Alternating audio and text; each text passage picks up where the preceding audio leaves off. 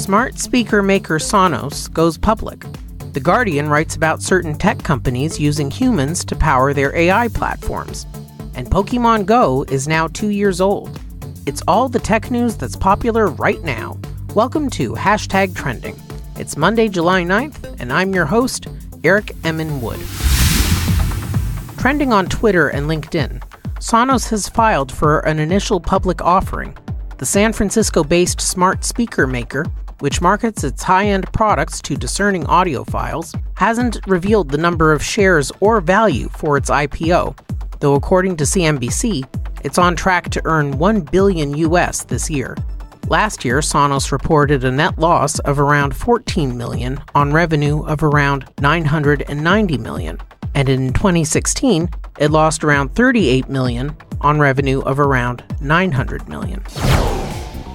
Reddit's users are talking about another tech-based story by The Guardian.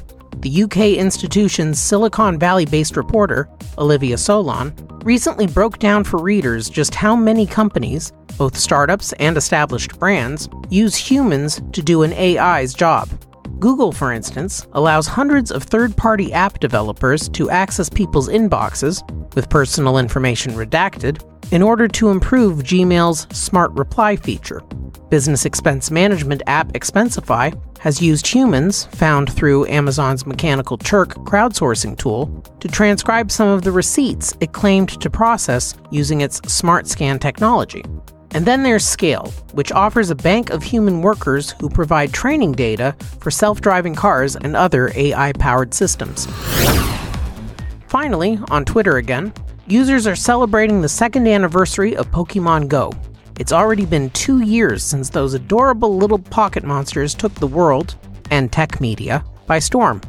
The augmented reality game, originally released on July 6, 2016, is celebrating the milestone with a special edition Pikachu, dressed in sunglasses and a wide brimmed sun hat. Among the user memories highlighted by Twitter, a Wisconsin player who's logged more than 1,400 kilometers, and an Alaska resident who met the guy who became her boyfriend while playing. That's what's trending today. Hashtag Trending is part of the ITWC Podcast Network. Look for more of our content on iTunes, Google Play, or wherever else you get your podcasts from. You can also add them to your Alexa Flash Briefing or Google Assistant Daily Briefing. I'm Eric Emin Wood. Thanks for listening.